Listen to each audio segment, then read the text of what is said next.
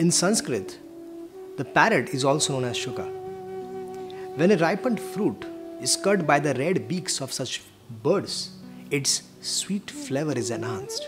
The Vedic fruit, which is mature and ripe in knowledge, is spoken through the lips of Shukadeva Goswami, who is compared to the parrot, not for his ability to recite Shrimad Bhagavatam exactly as he heard from his learned father, but for his ability to present the work in a manner that will appeal to all classes of men. The subject matter is also presented through the lips of Shukadeva Goswami that any sincere listener that hears submissively can at once relish transcendental taste which are distinct from the perverted taste of the material world. The ripened fruit is not dropped all of a sudden from the highest planet of Krishna Loka. Rather, it has come down carefully through the chain of disciplic succession without change or disturbance. Foolish people who are not in the transcendental disciplic succession commit great blunders by trying to understand the highest transcendental rasa known as rasa dance without following the footsteps of Shukadeva Goswami who presents this fruit very carefully by the stages of transcendental realization.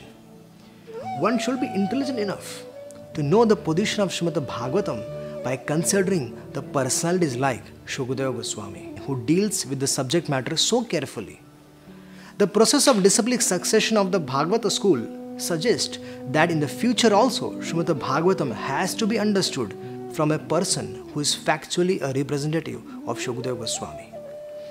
A professional man who makes a business out of reciting the Bhagavatam illegally is certainly not a representative of Shukadeva Goswami. Such a man's business is only to earn his livelihood. Therefore, one should refrain from hearing the lectures of such professional men. Such men usually go to the most confidential part of the literature without undergoing the gradual process of understanding the grave subject. They usually plunge into the subject matter of rasa dance, which is misunderstood by the foolish class of men. Some of them take this to be immoral, while others try to cover it up by their own stupid interpretations. They have no desire to follow in the footsteps of Srila Shukadeva Goswami. One should conclude, therefore, that the serious students of Rasa should receive the message of Bhagavatam in the chain of disciplic succession from Shukadeva Goswami, who describes the Bhagavatam from its very beginning and not whimsically to satisfy the mundaner who has very little knowledge in the transcendental science.